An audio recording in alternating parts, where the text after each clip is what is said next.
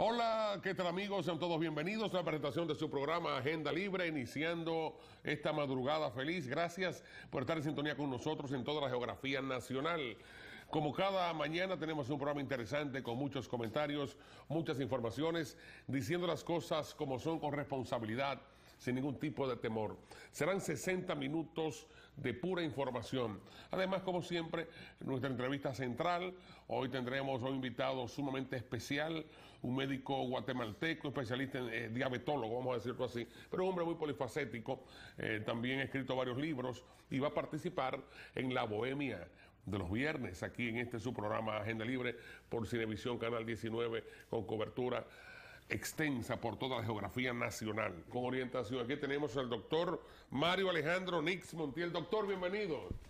Un placer inmenso. El doctor es guatemalteco, es un científico, es un médico especialista en diabetes, en diabetes, le dicen diabetólogo. Nos conocimos en Brasil, en Río de Janeiro, el año pasado, un evento internacional y el doctor está en la República Dominicana porque va a participar en un evento también importantísimo, un, evento vinculado con lo que es la educación en el área médica.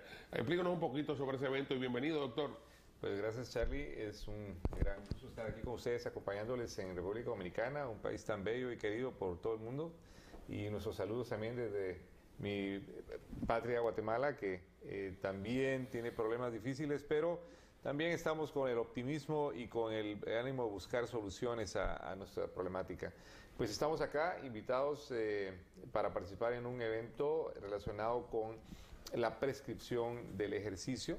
Eh, ah, vamos, a, yo, vamos a participar tomando este curso, esta certificación que viene por parte de la fuerza de tarea de lo que es ejercicio de medicina, que viene del Colegio Americano de Medicina del Deporte, la filial de República Dominicana y bajo también el sponsor de, de, una compañía muy importante en el manejo nutricional y de la capacidad muscular de las personas. Entonces, ¿este evento es abierto al público o es con invitaciones exclusivas? No, este es un evento dirigido al cuerpo médico. Estamos visitando República Dominicana, eh, un grupo de médicos de Centroamérica, básicamente eh, Guatemala, El Salvador, Honduras, Costa Rica, Panamá, eh, creo que también en Nicaragua, por supuesto, y vamos a estar reunidos el día de mañana trabajando en este tema tan importante de cómo prescribir y apoyar a las personas a desarrollar su actividad física, que es una cuestión sumamente importante, dado los altos índices de sedentarismo y de falta de actividad que eh, desde el punto de vista físico a nivel mundial, no, eso no es una cuestión eh, localizada, es a nivel mundial, y que acompaña el desarrollo de muchas enfermedades. Ok, vamos a orientar a los amigos televidentes sobre la ventaja, ¿no? de practicar ejercicios, de, hacer sus caminatas. ¿Qué tanto ejercicio debe hacer un ser humano para por lo menos garantizar eh, cierta calidad de vida? Pero hay un consenso a nivel internacional en el que se recomienda un mínimo de actividad que más o menos ah, se acerca a los 150 minutos a la semana de actividad física. ¿Y qué estamos buscando ahí? Bueno, lo más simple, como has dicho hace un momento, la caminata es el eh, elemento más eh, sencillo que el ser humano puede desarrollar. Ya lo decía Hipócrates hace muchos años, eh, muchos, ya un par de miles de años, el mejor, la mejor medicina para el hombre es caminar. Ok, entonces doctor, estamos de acuerdo que con apenas 30 minutos de caminata a la semana, en 5 días son 150 minutos. Así es. Esto me garantiza que no me sorprende un infarto. No, eh, no lo garantiza, pero te reduce las posibilidades. Las posibilidades. no solo de infarto, sino que te ayuda a la prevención de muchas otras enfermedades, ¿verdad? De modo que hay que hacer ejercicios. Es absolutamente ¿Usted necesario. hace ejercicio, doctor? Así es. Sí, sí, tres veces por semana. Sí, Tres veces por semana, eh, desde hace ya, te puedo decir que ya tengo más de 35 años de estar eh, practicando ejercicio de una forma rutinaria. Sí. Eh, eh, mi ejercicio favorito es el, correr, me gusta ir a correr. Practico ah, entre semana 10 kilómetros dos veces y el fin de semana eh, salimos en grupo a correr 21 kilómetros aproximadamente. Eh, y participo en algunas competencias, no, no para ganar, sino para mantenernos en el, en el buen estilo de vida. Porque es difícil predicar sin, sin el ejemplo, ¿no? Claro, yo recuerdo tener un médico al que yo visitaba siempre, y él me, me puso una dieta rígida y me dijo, Charlie, debes bajar de peso. Pero entonces pesaba más que yo. Digo, doctor, pero cuando usted rebaje, yo voy a rebajar también.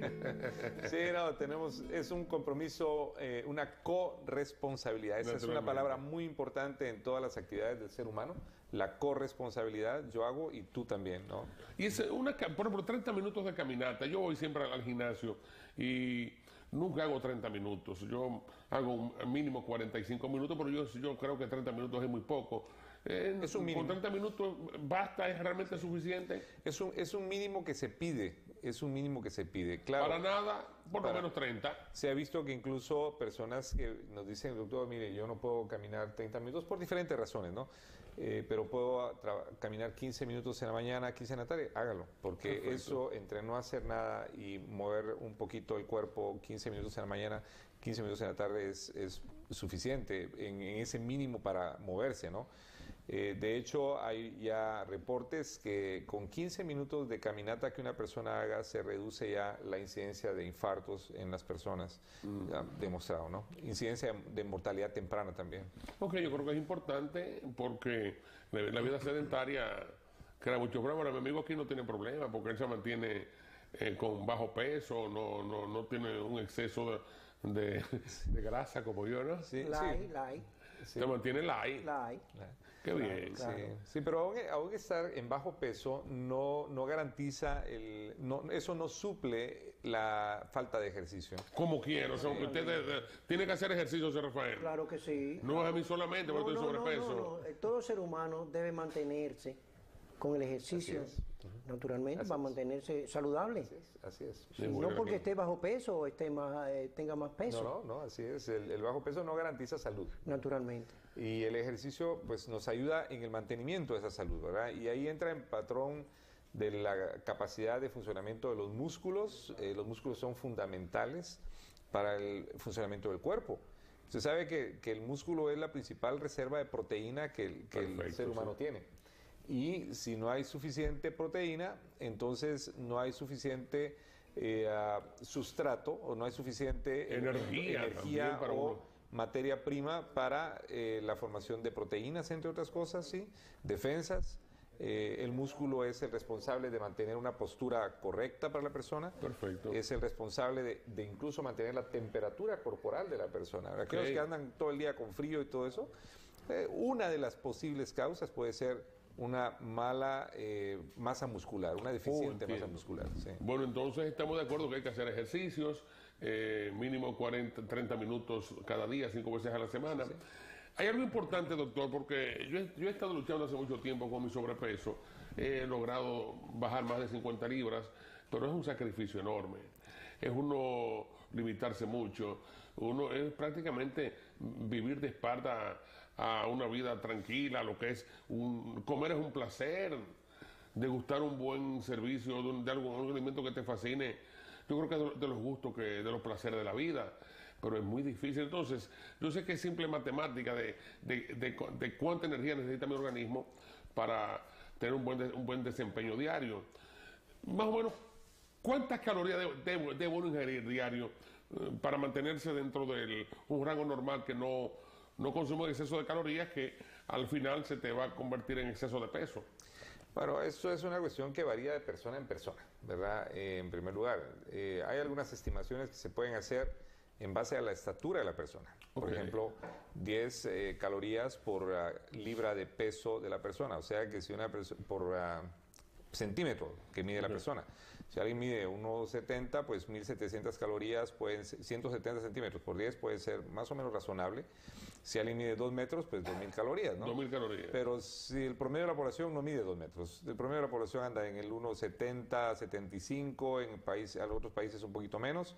Entonces, no necesitamos tanto desde el punto de vista calórico.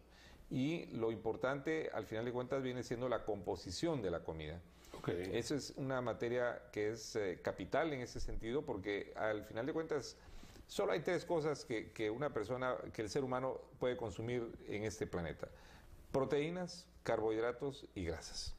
Esas son las tres cosas que componen la alimentación. Puede ser dulce, puede ser amargo, puede ser ah, eh, sólido, líquido, puede ser eh, de la textura que tú quieras, el color que quieras, el sabor que quieras, pero proteínas, carbohidratos y grasas. Y esa es la composición de la comida, que, ahí van las proteínas, ahí van los minerales, las vitaminas, los elementos traza que el cuerpo necesita para su funcionamiento correcto.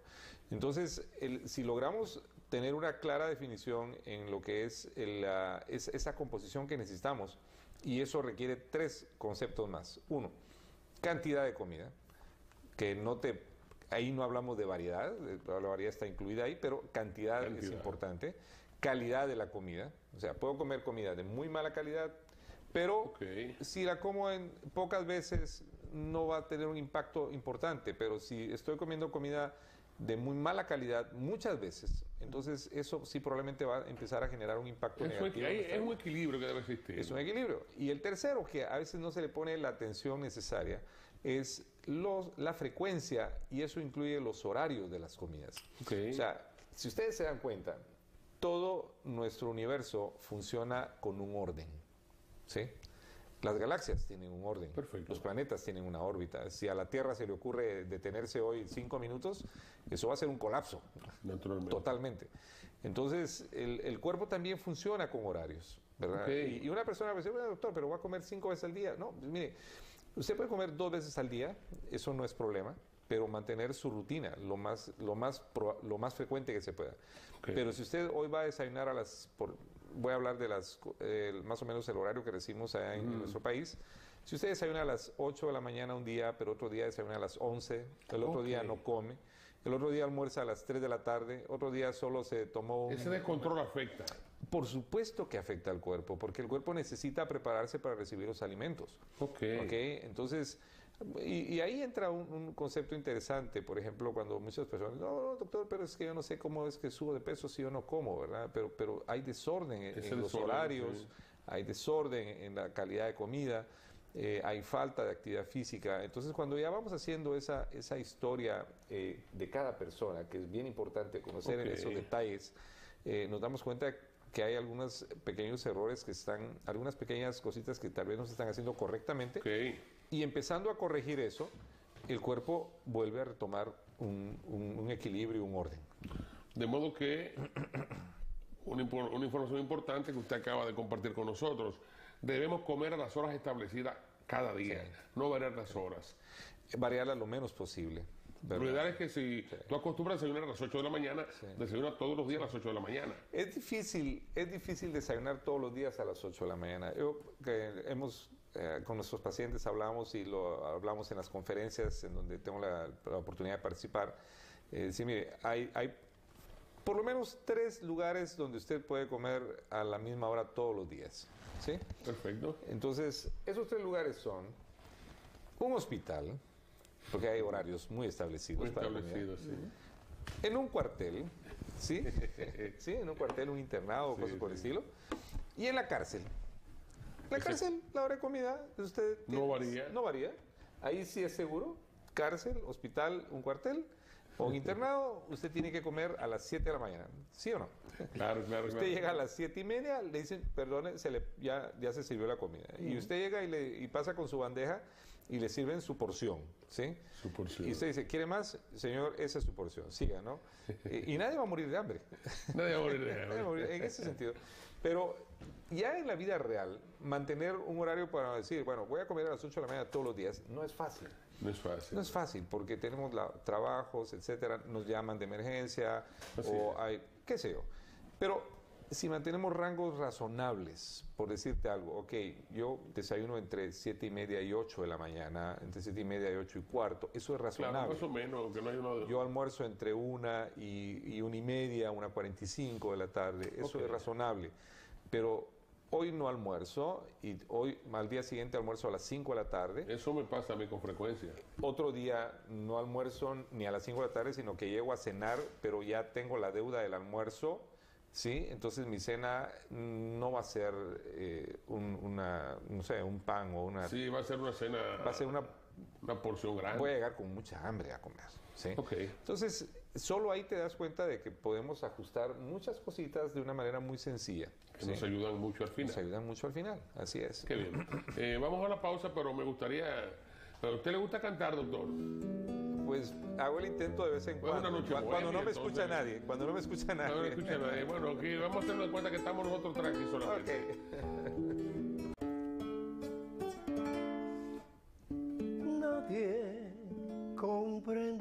Sufro yo. Canto, no puedo sollozar. Solo llorando de ansiedad estoy. Todos me miran y se van. Mujer, si puedes tú con Dios hablar, pregúntale si yo alguna vez Te he dejado de adorar. y al mar, espejo de mi corazón. Las veces que me has visto llorar, la perfidia de tu amor. Tremendo, tremendo. Vamos entonces a continuar aquí. Eh, tenemos nuestro invitado especial, al doctor Mario Alejandro Nix Montiel, médico diabetólogo, guatemalteco con más de 30 años de ejercicio eh, en su consulta privada y en Guatemala. Aquí tenemos dos libros. Usted me gusta este libro, Testigos de Milagros. Eh, y aquí está No me cierra el pantalón. Ábreme sobre este libro, porque a mí no me cierra muchas veces. Eh, ¿Qué tratamos en este libro? Eh, el contenido que tiene. Ah, gracias, Charlie. Sí, es, es un libro que tuvimos la oportunidad de editar eh, y lanzar allá en nuestro país, en Guatemala, en el año 2013. Y eh, es un libro que realmente lo que busca es eh, informar a la población acerca de la enfermedad que todos hemos oído, que se llama diabetes. Lo importante en esto es brindar una óptica que le permita a la persona tener una perspectiva correcta en el abordaje de la enfermedad. No es ninguna, ninguna gracia que le digan a uno, bueno, tienes diabetes, ¿no? Sin embargo, eh, la enfermedad es una enfermedad que se puede prevenir en muchos casos, se puede retrasar su aparecimiento en muchos otros casos, y en el momento en el que la enfermedad aparece ya con el diagnóstico, es una enfermedad que no solo se puede controlar, sino que literalmente la enfermedad se deja controlar. Ok. Literalmente podríamos decir que la enfermedad está esperando a que el paciente tome el control. En el momento en que el paciente toma el control, podríamos decir, bueno, casi la enfermedad se hace a un lado. So, un diagnóstico de diabetes es un diagnóstico catastrófico. Se Es- puede es vivir con diabetes, una vida normal. Se puede vivir con diabetes, eh, ah, pero todo depende del nivel de control que el paciente tenga. Ok. Y en ese, en ese tema, el- esta enfermedad la podemos catalogar como una enfermedad de autocuidado, de automanejo, de autogestión, en donde el paciente tiene que tomar decisiones a diario. La es- pero son las decisiones que todos tomamos a diario, ¿sí? La mayor responsabilidad en este caso es la del paciente, más que la del doctor. Depende del momento en el cual el paciente se encuentre. Ok. El paciente que llega al consultorio con el primer diagnóstico y no sabe nada de diabetes, su responsabilidad en esto va a ser muy baja, ¿ok? Pero la responsabilidad del proveedor de salud va a ser transmitir ese conocimiento, esa forma en la que se puede controlar la enfermedad, de manera que la responsabilidad del paciente va a ir aumentando por, en su propio cuidado. Adquiriendo ¿sí? conciencia. adquiriendo conciencia, pero no solo es adquirir conciencia, sino que adquirir conocimiento, porque se requiere cierto conocimiento en, la, co- en el manejo de la dieta, como lo mencionábamos, de la Perfecto. comida, como mencionábamos hace un momento, en, el- en la, en la importancia de no solo de la conciencia, sino que en el desarrollo de ejercicio, porque no solamente decirle, oye, Rafa, vas a ir a caminar, Bueno, ¿cuánto voy a caminar? Voy a caminar media hora, una hora, dos horas, una vez a la semana, dos veces a la semana. Voy a caminar rápido, voy a caminar despacio, voy a caminar solo en plan, voy a caminar en, pendientes, en, en, terreno quebrado. ¿A qué se refiere eso? Tenemos que ser muy específicos. Es como cuando prescribir ejercicio, por ejemplo, es la misma connotación que prescribir un medicamento.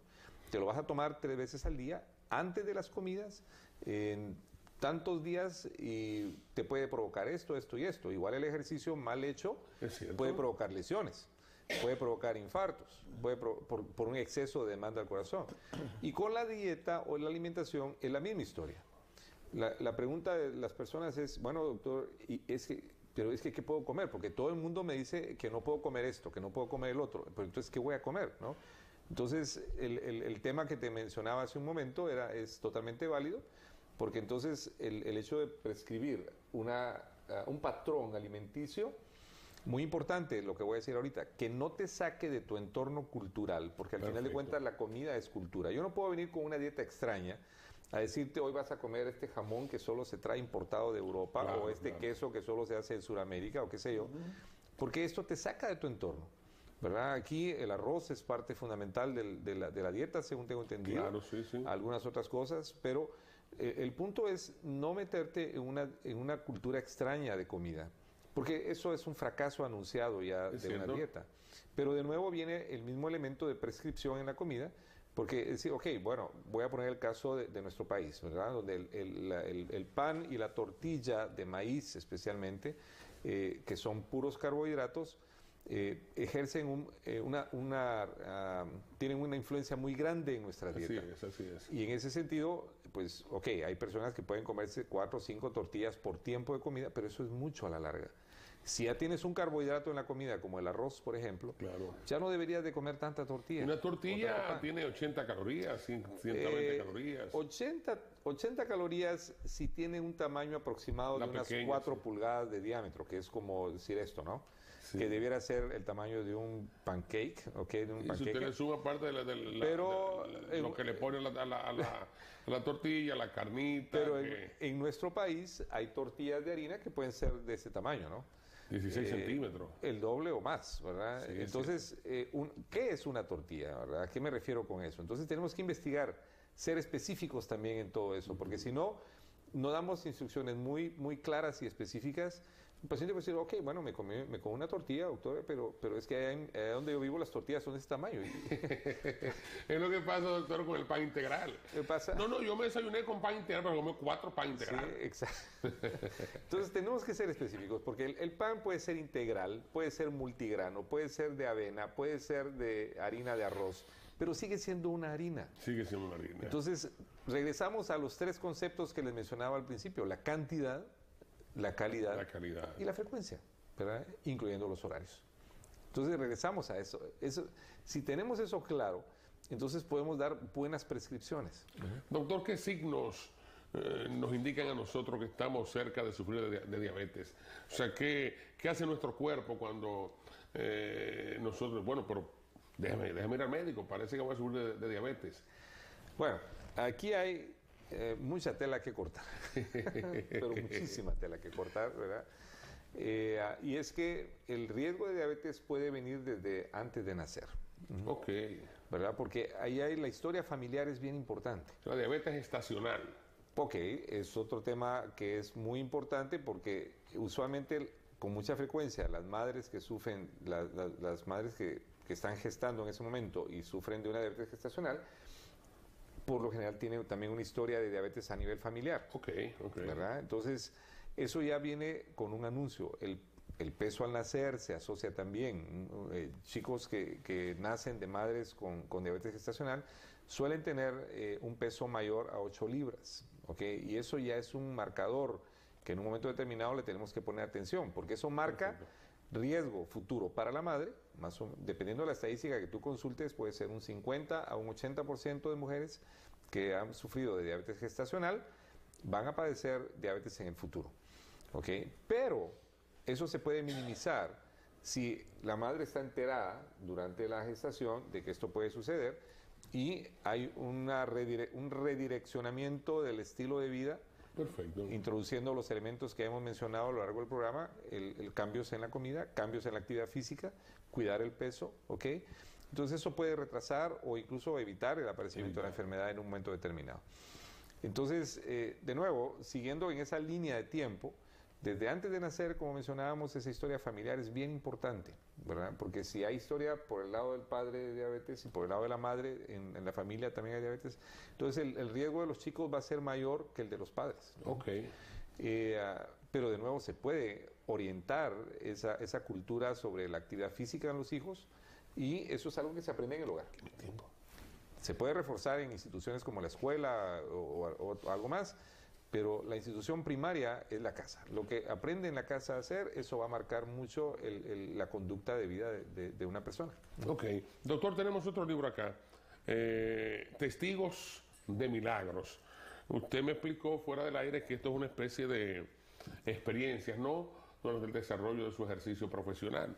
Vamos a mostrarlo acá eh, para que usted nos oriente algunos de los de los contenidos ¿no? de, este, de este libro. Gracias, Charlie. Sí, esta es una, una publicación que recién uh, salió el año pasado, eh, uh, en donde uh, hay una recolección de 20 historias eh, de la vida real que, nos, que tuve, he tenido la oportunidad de, de literalmente ser testigo. En algunos tuve la oportunidad de participar un poquito más, en otros solamente fui un testigo que vio el hilo de los acontecimientos en la vida de algunas personas y eh, que ha llamado mi atención por la forma en cómo aparecieron eh, los, ah, los hechos y cómo se resolvió el asunto. Que en, en, muchos de los casos fue de una manera no esperada. ¿Alguna anécdota cortita que nos pueda narrar del, del contenido? Ah, claro, podríamos mencionar así brevemente el caso de, de una eh, mujer que tuvo un tumor. Eh, ella, el, esposo de ella llegó a mi clínica cuando yo ah, recién acababa de terminar mi especialidad, contaba yo con unos 29 años aproximadamente y el hombre trabajaba en una empresa multinacional y lo refirieron conmigo, yo trabajaba en un programa de salud preventiva eh, y es aquella cosa de que, bueno, llega un hombre de unos 45, 50 años y ve a un médico de 29 años y dice, eh, ¿será que este muchacho me va a resolver el problema? Eh, es, así es, ¿verdad? Así, es, es una cuestión natural. Pero platicando tuvimos la suerte y la, la fortuna de poder resolver el, el, problema que él tenía. Y en el, un par de citas después me dijo, mire, tenemos un problema con mi esposa, ella está padeciendo de un problema de hipertensión desde hace varios años, ella es muy joven, tiene 32 años y ha, ido ya con muchos médicos y no ha podido resolver el asunto. Eh, al final de varias sesiones logramos resolver el caso, era un caso muy raro, eh, unos tumores que se pueden desarrollar por encima del riñón, suprarrenales, en las glándulas suprarrenales y que producen hipertensión y que se curan en muchos casos quitando los tumores. ¿ok? Pero lo importante de esto fue lo que la, esposa me contó después. me dijo lo siguiente, doctor, eh, hace algún tiempo eh, yo visitaba una iglesia y una persona se levantó y me dijo que Dios iba a mandar a mi esposo, él iba a ser el canal para que yo me curara. Así, así es. Y eh, ella, cuando el esposo le dijo, mira, vas a ir con este otro doctor, ella dijo, ah, otro doctor más, que pasa con frecuencia también, ¿no? Sí. Otro, ya estoy cansada de ir con doctores. Llegó y eh, el asunto se resolvió. En ese caso yo fui solo un testigo del asunto y, fue una cosa importante porque sin, sin querer el esposo fue el canal porque realmente lo que le, habían dicho en, la iglesia. Y el caso se resolvió favorablemente, eh, se le curó su presión. Así que ese es una pequeña avance de lo que está por ahí metido. Doctor, mire, gracias por su comparecencia. Tendremos que seguir conversando eh, sobre diabetes, sobre el contenido de estos libros. Y bueno, estamos complacidos de que haya aceptado nuestra invitación y ojalá que el estadía aquí en República Dominicana sea de su entero agrado. Gracias por venir. Gracias, entonces, de despedida al doctor, ¿qué le, qué le tenemos? El rayo.